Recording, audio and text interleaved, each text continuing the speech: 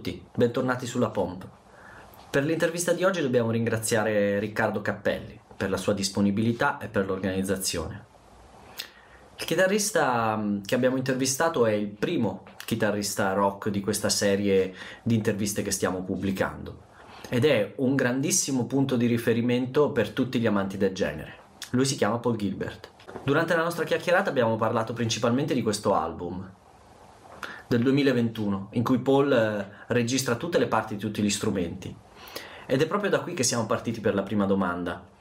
Da dove nascevano le idee che poi venivano sviluppate per diventare i brani che abbiamo ascoltato? I think uh, mostly two things. The, sometimes I have uh, lyrics and uh, that can be the easiest way because, for example, um, one did I have? An ar- argument about pie. Mhm. And uh, so I, I had that, that lyric, which I thought was funny. And then I, you know, I just played a chord and started singing, You can never get in an argument about pie. And uh, that, that melody really f- flowed out. It was, Okay. you know, it's nice when you just have inspiration.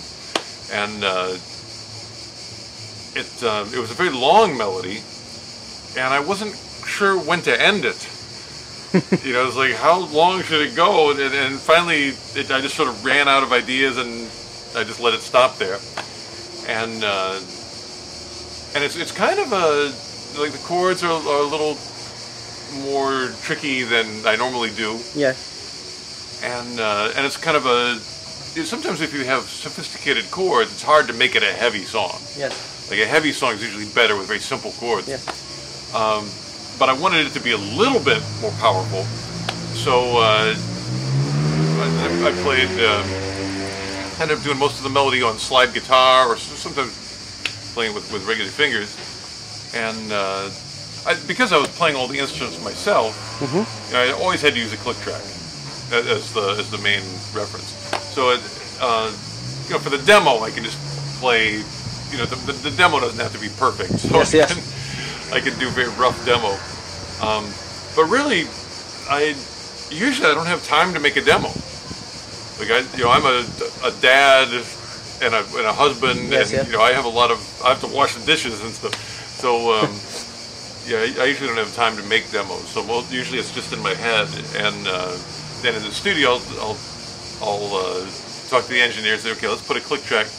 Now that was a, a, a tricky song because the click track changes. Yes. You know, sometimes it slows down or speeds up. You know, it's like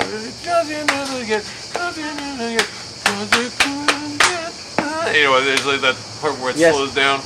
So you have to you have to make the click do all that, and uh, and then I would I would play along and see, you know, does it feel right? Okay, you have to change this, and we would we would spend maybe three hours just making a click track, Ah.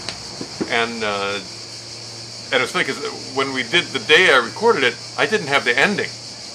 You know, I had I, I knew the beginning, I knew the middle, I didn't know how to end it, and so while I was driving to the studio, I'm like, I gotta have an end, and, and finally, I, you know, that it, that sometimes works really well to have that panic Yes. of like, I've only got ten minutes, and I have to think of the ending, and o- often that's you'll get the best things that way. You know?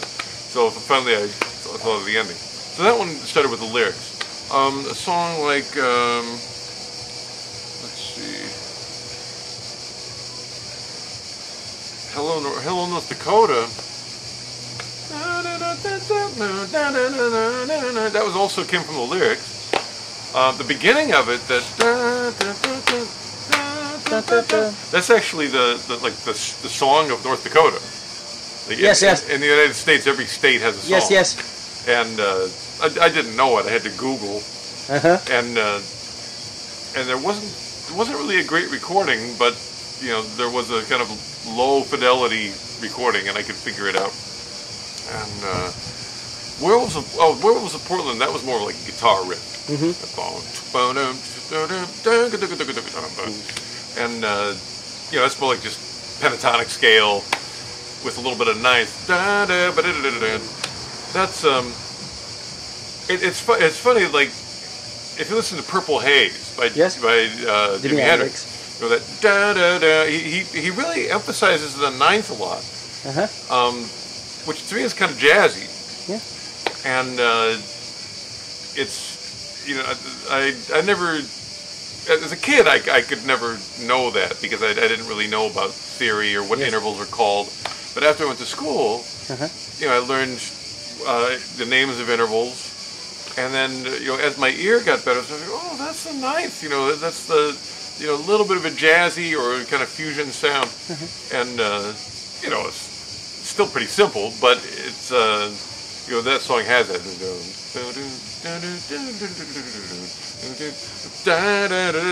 So that, that, that little jazz element. Yeah. You know, I mean, I'm sure if you play it for Frank Gambale, he's like, that's, um, that's, that's not real jazz, but you know, for, for me it is. You know, it's a little component. yeah, just a little taste. Okay. Yes. Okay. Nella seconda domanda gli abbiamo chiesto quanto è importante saper suonare altri strumenti oltre al proprio. Other instruments. Well, I, I just learned other instruments because I love them. You know, it wasn't like okay, I have to do this because it's, No, no, it's, yes. it's you know it's a medicine. You know, Yes, I, yes. I did it because man, playing drums is so much fun. And uh, you know, I, I played drums for a long time when, when I was a kid. You know, playing sort of because I, joined I would join a band.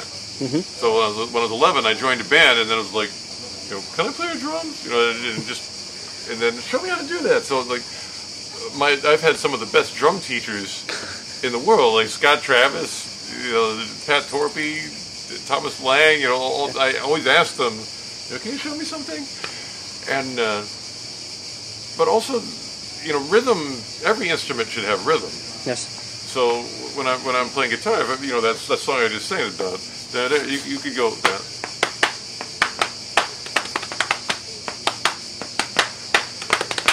You know, that's the that's the rhythm of it. You know, and sometimes that's the problem with, um, especially in, in like shred guitar, Hmm.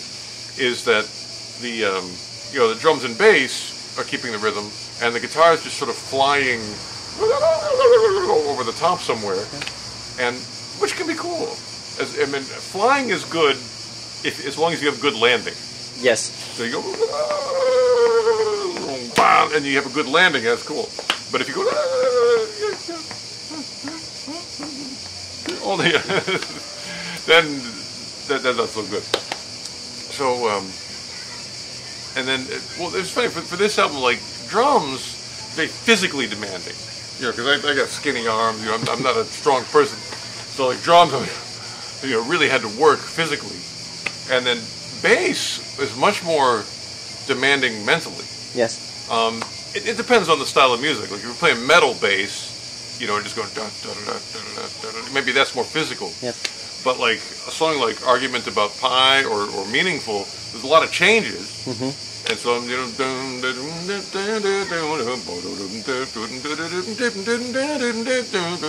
it's a lot more trying to follow the, the, chord changes and play mm-hmm. a, melody, and uh, it's, it's, it's almost like a guitar solo, but it's just low. You know? That's, that's more rit- yeah. rhythmical.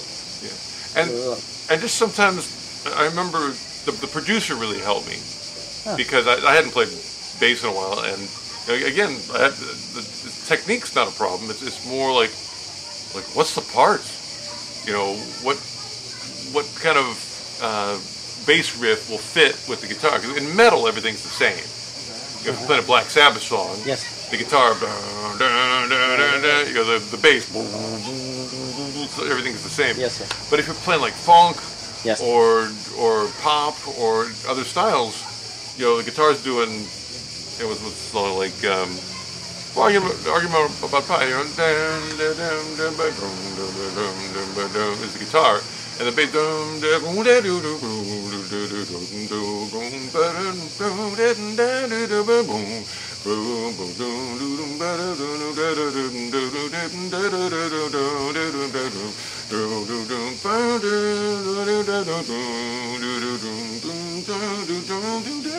So the guitar just yeah, much more simple. Yes. Yes. L'ultima domanda invece era sulla sua routine di studio quotidiana. And, uh, I would say um, usually blues. Yeah. Um, because I, I, I love the, the sound of, of vibrato and bending, and also to, to me, blues is like a doorway in, into into jazz. Yes. Yeah, and you know it's, it's just it's jazz with one four five. You know, it's, and you know maybe if you want to get tricky, add the six and the two. You know, but um, yeah, that's uh, to, me- to me it's really sad. It's like you know because from, rock, sometimes you don't have any changes, or they're so simple. You have like Yes. A minor, F over and over again, and uh, so to have like you know a you know a, a dominant seventh chord Yes. For your one and your four and your five. It's um, there's a, a lot more harmonically, and to, to to make that to make that happen, where you you know you're playing your one chord, you know, boom boom boom boom, down down to the four, da da.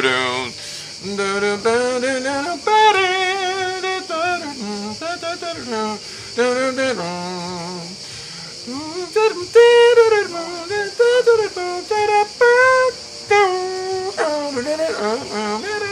And it's um, it's funny from playing blues.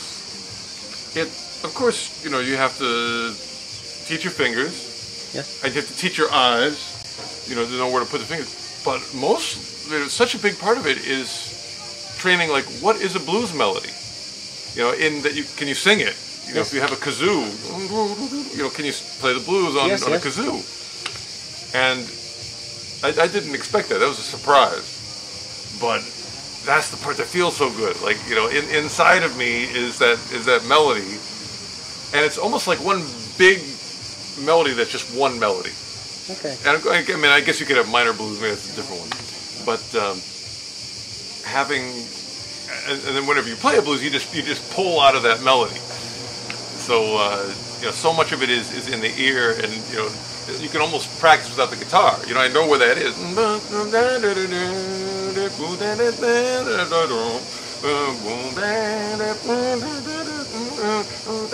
You know, it's a, I can see the, the fretboard in my Yes, head yes. as I play that. So it's uh, if, if you practice and you do air guitar, Mm-hmm. you can tell like, do I really know, you know, How where I am in the air, and uh, that, that's a good test of your knowledge. Yes. It's also great on stage because like if your monitor is not good, you can't hear yourself. Yes. You, you still know in your head. So you practice uh, almost uh, and some way of uh, um, ear training. Well, I mean, in a way, all all practice should be ear training. You know, Yes, yes. if- you know, if you're not listening, Yes. So yes. what's, what's the uh, point? You know?